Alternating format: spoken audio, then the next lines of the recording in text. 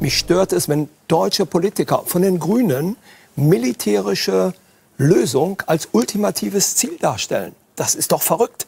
Und das machen Politiker, die mit Militär nichts am Hut hatten, die den Wehrdienst verweigert haben, die von der Bundeswehr nichts mhm. wissen. Das geht doch nicht.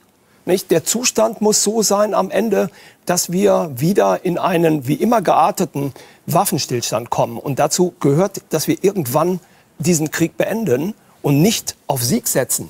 Das ist ja ein, eine Rhetorik, die nicht geht. Einfach in der modernen Friedens- und Konfliktforschung ist das ein echtes Novum. Ich sage nur, der Ansatz muss ein anderer sein. Wir müssen möglichst schnell aus dem Konflikt raus. Wir können in Zentraleuropa keinen Stellvertreterkrieg auf Jahre gebrauchen, der das Potenzial hat, zu einem Nuklearkrieg zu eskalieren. Weil Russland ist nicht Serbien, ist nicht Irak, ist nicht Afghanistan, mhm. ist nicht Libyen.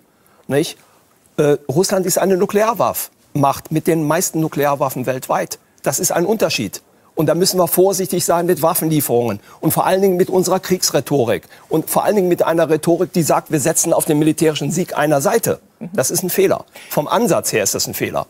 Und das, was Sie schildern, Frau Weißwand, das bedrückt mich auch sehr. Das sind ja Bilder aus den Kriegen, äh, die wir kennen. Wir kennen diese Bilder aus dem Irak, aus Afghanistan, aus Syrien, aus Libyen. Es ist nichts Neues, was dort passiert, so grausam das ist. Aber wir hatten wenn, wenn, denken Sie nur an den Irakkrieg. Wir hatten da ein zigfaches an Opfern, auch zivilen Opfern. Ähm, das ist eben eine Erscheinungsform moderner Konflikte, ähm, die man einfach sehen muss. Das ist dramatisch, das ist schlimm.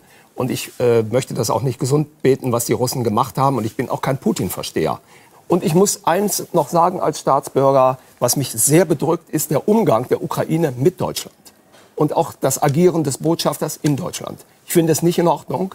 Und das stört mich auch ein bisschen, dass das nicht ausgesprochen wird in Deutschland, dass das nicht thematisiert wird. Es ist nicht sehr schön.